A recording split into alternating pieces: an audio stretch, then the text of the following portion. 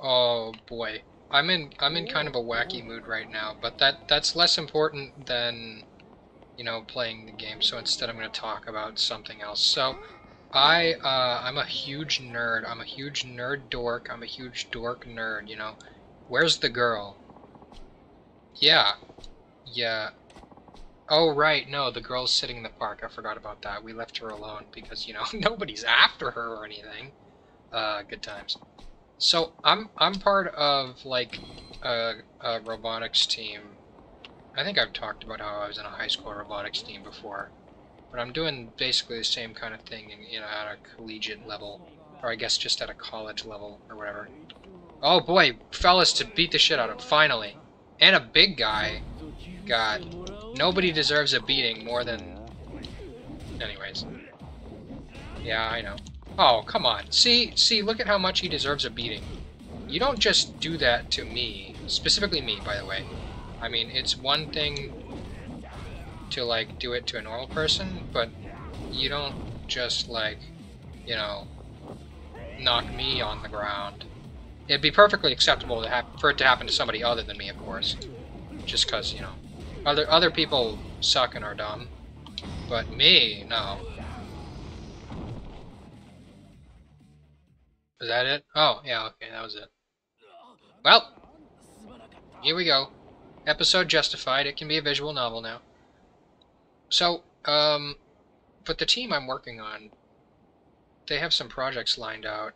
Oh, great, a hobo. Or I guess a homeless man. Sorry, there is a difference. Um, sure, here, have it. um, one of the projects they were like, I'm used to robots that do stuff in a game, like a controlled environment, but now we're actually working on things that might see effective use. But I mean, it's a college campus. Huh. Yeah. I'm the guy. Cake. Yeah. Yeah, sure. put that put that reference down. Yeah. But oh, great. Well, yeah, I, I could do that. Weren't we just over there? We're really doing a setting change back to the place we just were? Well, yeah. hmm. Wasn't that nice of her to pawn off my takoyaki that I bought? Sheesh. I like her less and less by the day. Anyways. Um, I'm concerned that, that, like, no matter what the project is, the most difficult part of it is going to make it college-level idiot-proof, you know? Like, these people are so dumb. you know?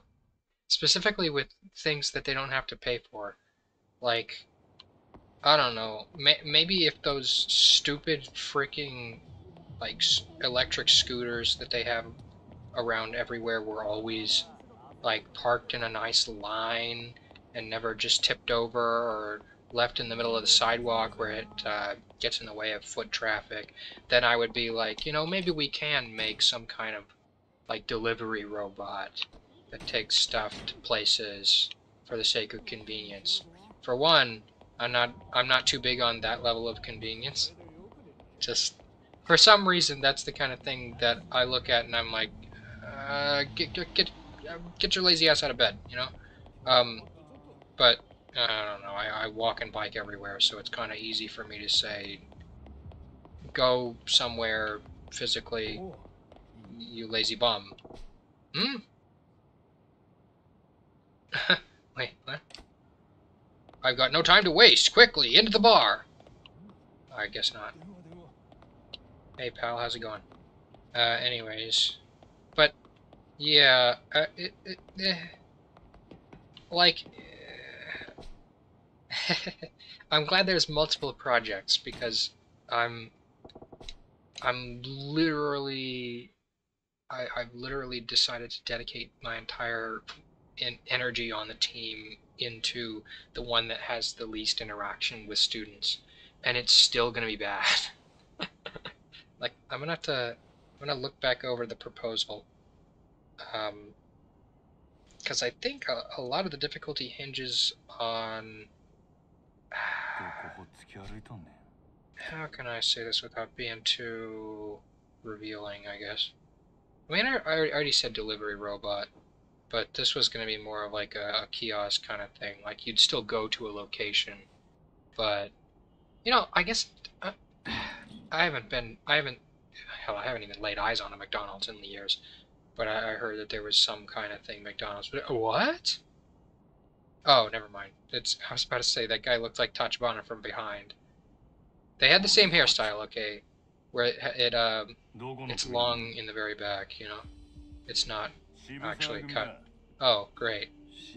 But yeah, it, it's uh, you you just go to a location and the robot takes payment for something, and then it brings it out to you. You know. And then my my initial thought is I might just I might just have to reread the proposal, but is the idea that the robot would make the food, or the, is the food all pre-made? In which case, you basically can just make it like you could just make it like an Amazon fulfillment robot, where you just put them all in boxes with codes on them. I mean, I, I'm guessing they don't want to put like a, a friggin' a Fanuc arm just in the middle of campus. I mean, that would be pretty cool, actually, but you'd you'd have to make it pretty darn well weatherproofed, and yeah, not too sure about that. But, um, it, it uh, as long as it is stocked properly, you don't even really need to make it move all that much. But then, how do you keep people from messing with it? And also, how do you keep people from just stealing everything? Because uh, I don't, I don't, put, I, I- I don't really put college students above all that much in terms of what people are willing to do. Um, all right. Anyways, time to bash skulls with a bat. I mean, I know I was just talking about a robot, but time to very mechanically, meticulously beat the crap out of a bunch of fellas. Because why the hell not? Hey, dude, come on. I'm not knocking people down here. I'm like, I have to work to knock people down.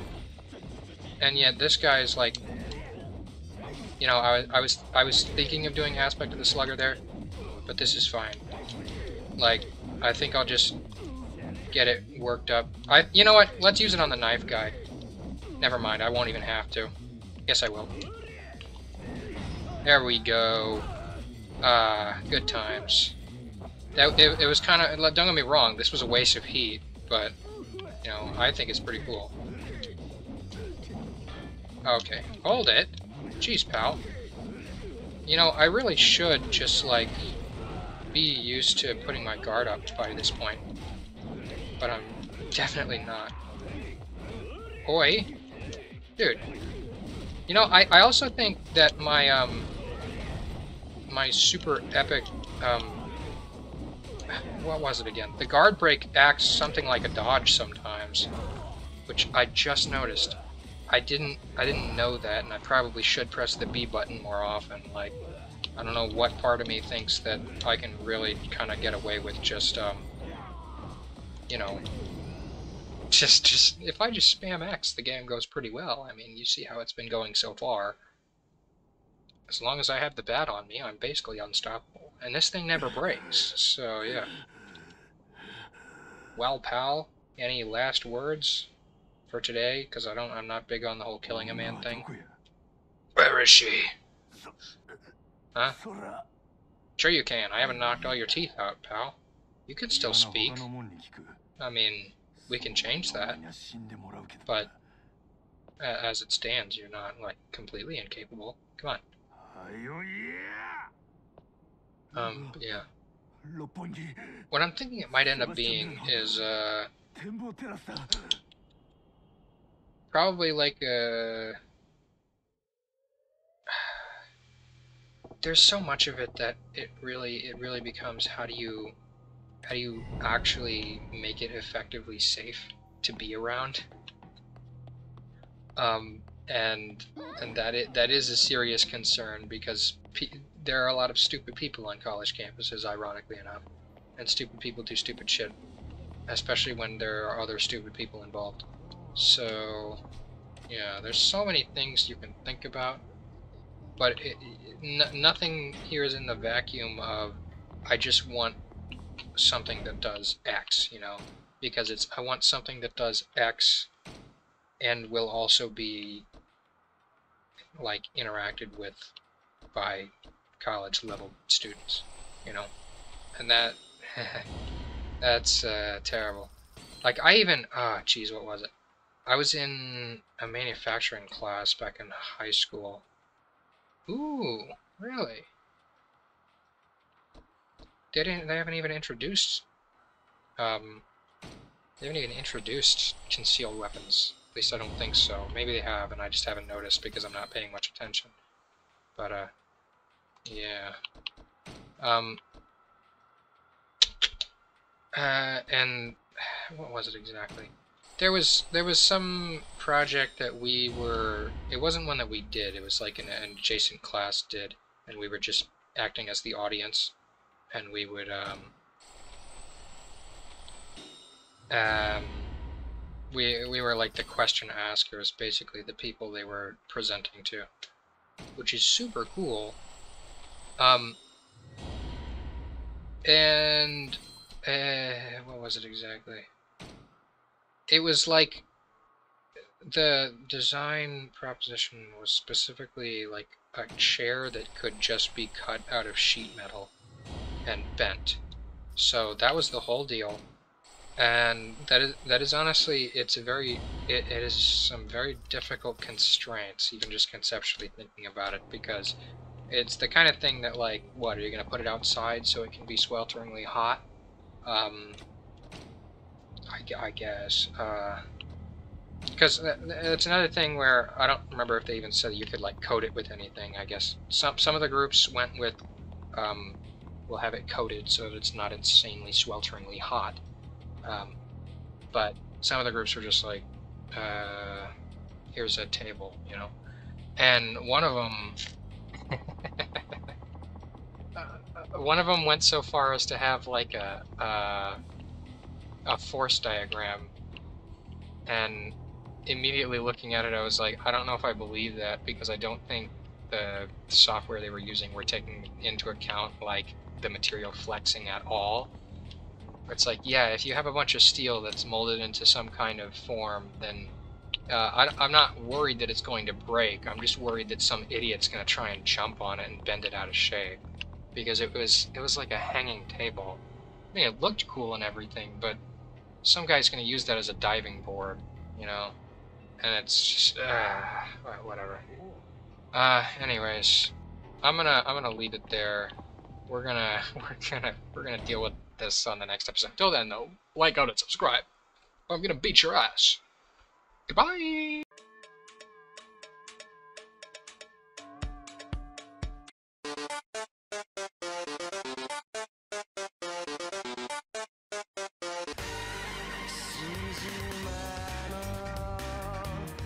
Yeah, I hope that one. I thought it was pretty funny.